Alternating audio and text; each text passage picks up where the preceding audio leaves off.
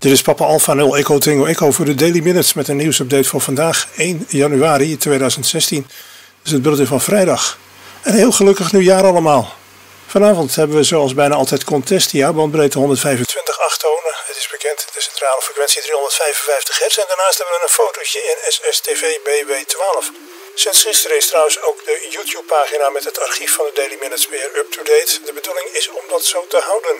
Net als gisteren is er niet zo heel veel nieuws, daarom houd ik het bij het nieuws op wat korte mededelingen. De eerste aurora's van 2016 worden vandaag al verwacht doordat een CME een zonnestorm van gemiddelde sterkte opwekte. Er is een kans dat de geomagnetische storm ook morgen 2 januari aanhoudt.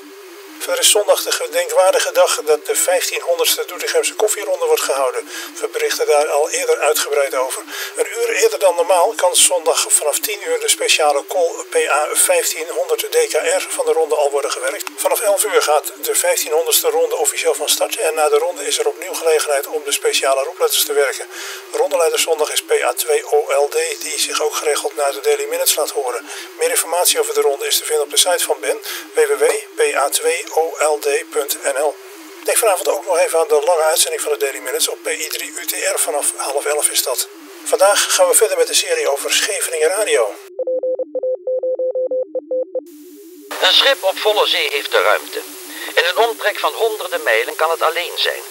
Vooral dan zal het voor de mensen die het herbergt een veilig thuis moeten zijn.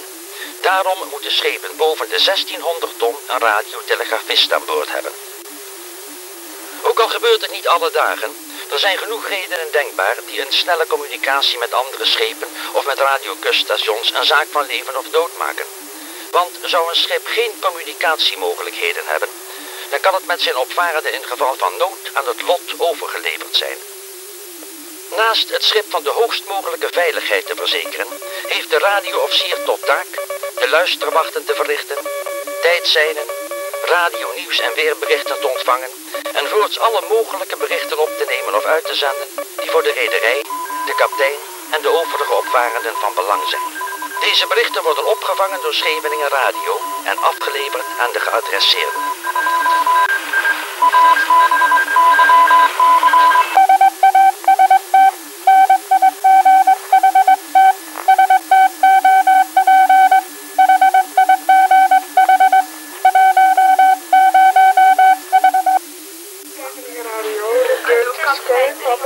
U.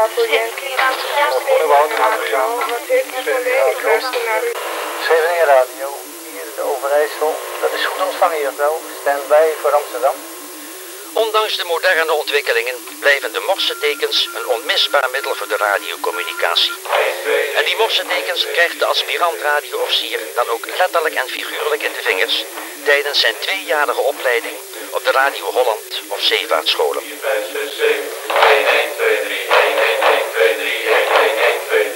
Naast morsetekens zal de toekomstige radioofficier ook Venus en Mars moeten hebben op het gebied van de scheepselektronica.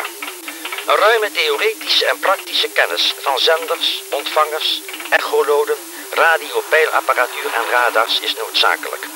Kortom, het hele arsenaal aan elektronische apparatuur aan boord mag voor hem niet de toverapparatuur zijn die het voor de niet-ingewijden vormt.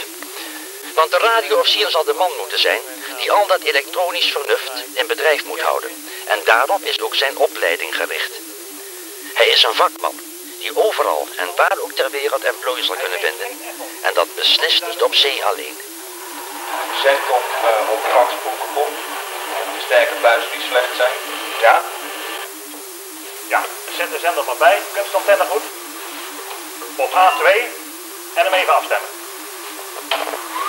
Meet eens even die stemming. Ja, milli scheelt die? Ja, dat is het al zo ongeveer. Nou, begin maar te roepen. De stop, daar komt ie.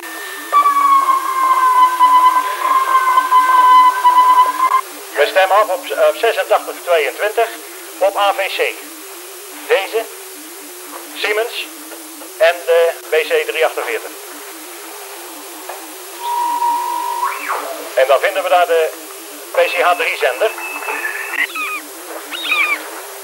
Natuurlijk wordt de toekomstige radioofficier ook vertrouwd gemaakt in het bekwaam en snel hanteren van die apparatuur om aan eventuele noodsituaties zo goed mogelijk het hoofd te bieden. Van zijn inzicht en vakbekwaamheid kan op een bepaald moment veel, misschien wel alles afhangen. Hier wordt een kleine radiotelegrafie zendontvanger die in noodgevallen overboord gezet kan worden, uit het water gevist en in de kortst mogelijke tijd in bedrijf gesteld.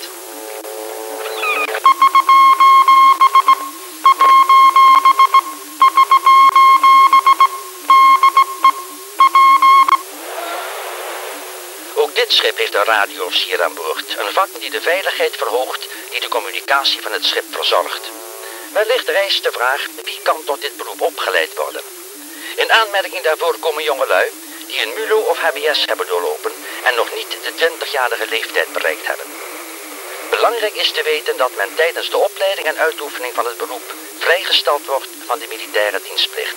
Hebt u belangstelling voor dit beroep, dat bovendien kan dienen als aanloop voor een carrière aan de wal, dan kunt u nadere inlichtingen krijgen via de stichting Socutera, postbus 93 in Den Haag.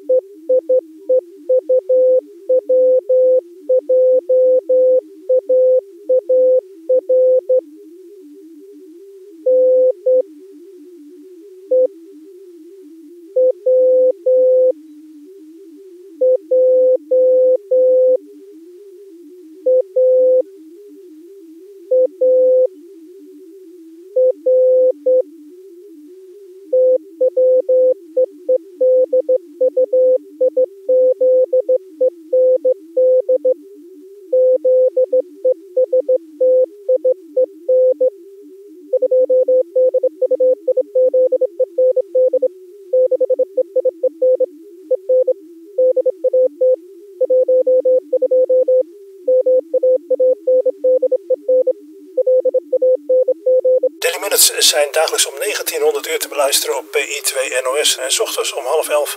Verder zijn de uitzendingen onder andere te beluisteren op youtube.com schuine streep PA0ETE. Een heel nieuw jaar. Hoe krijgen we dat nou weer op?